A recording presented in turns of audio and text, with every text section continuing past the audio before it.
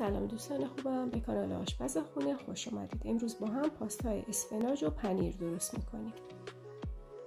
ابتدا پیاز رو نگینی خورد کرده در روغن سرخ می‌کنیم. وقتی پیازها کمی طلایی رنگ شدن اسفناج رو بهش اضافه می‌کنیم. من از اسفناج یخزده استفاده کردم.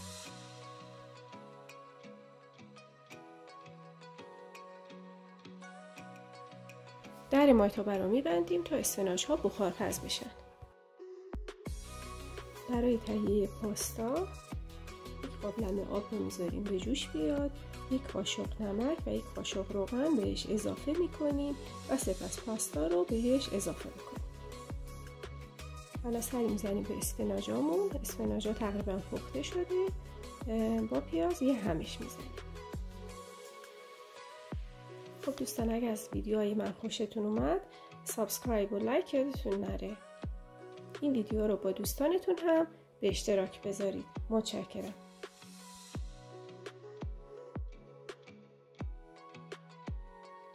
دو پر سیر رو له کرده به اسفناج ها و پیاز اضافه می‌کنیم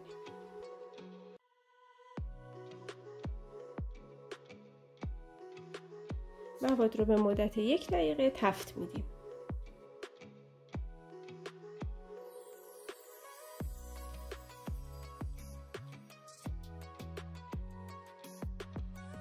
دو قاشق پنیر خامه ای به مواد اضافه می کنیم. یک قاشق پنیر پارمزان اضافه می کنیم.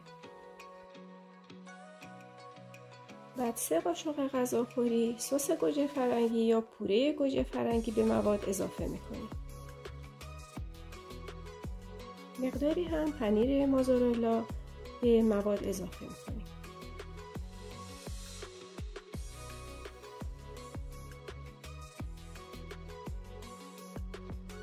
یک قاشق پودر سبزیجات خشک هم به موادمون اضافه می‌کنیم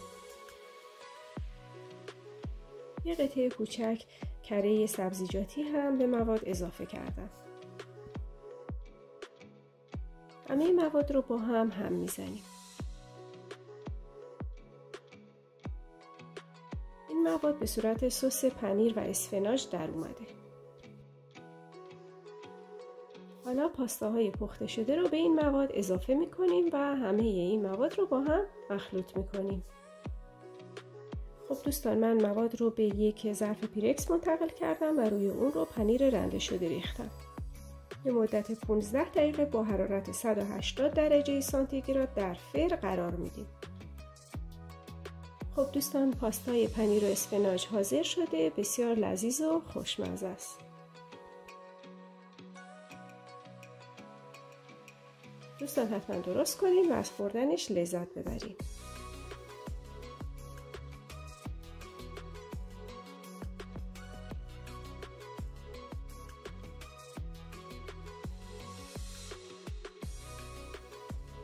خب با هم امتحان می‌کنیم. بله خیلی خوشمزه و لذیذ شده.